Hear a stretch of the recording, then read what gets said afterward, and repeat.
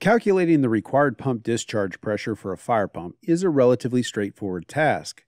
However, it does require a base knowledge of required nozzle pressures and friction loss. Additionally, since friction loss is dependent on the volume flowing through the system, you must have an idea of how much water you are attempting to pump.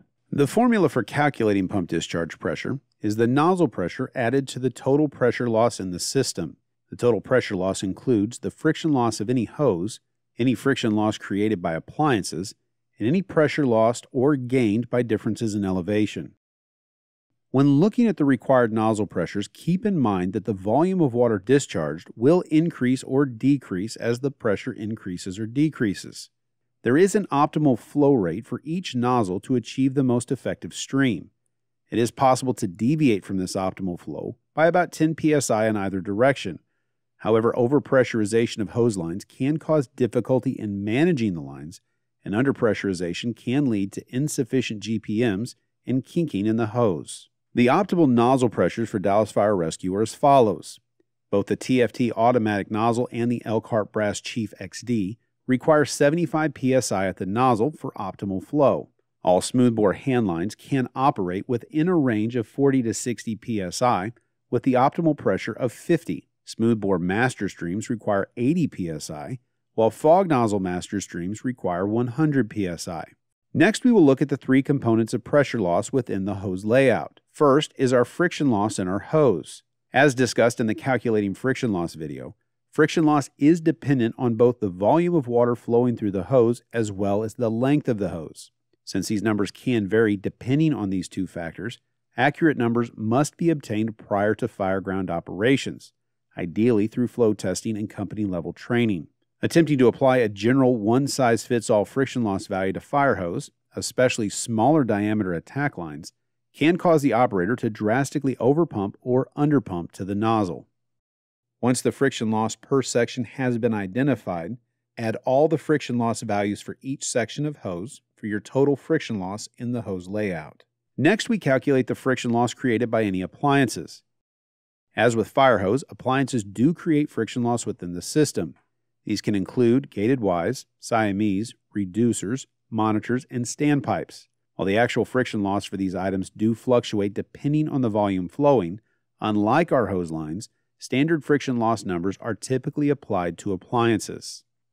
The friction loss for gated Ys and other small appliances can be calculated at 5 psi per appliance. The Blitzfire is calculated at 25 psi, and standpipes are typically calculated at 25 psi, although this number can vary. Finally, we include any pressure lost or gained by elevation. As we increase or decrease our elevation, we will need to increase or decrease our pressure to accommodate the pool of gravity on our water. For above ground structures, 5 psi or pressure is added for every floor or 10 feet above the first floor. Likewise, when pumping below grade, such as basements and underground tunnels, 5 psi is subtracted from the pump discharge pressure formula for every floor or 10 feet below grade. Once all the values have been identified, begin with the required nozzle pressure, add the friction loss of your hose, the friction loss from any appliances, and then add or subtract any loss or gain from elevation. This identifies what pressure you need to pump at the engine. So let's put it all together.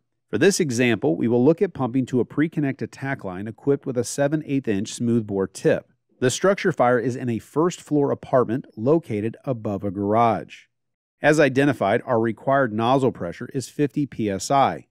Next, we know that our smoothbore tip flows 160 GPM at this pressure. Based on Key Hose's numbers, the theoretical friction loss is 17 psi per section, or 85 psi, for 250 feet of inch and three quarter hose.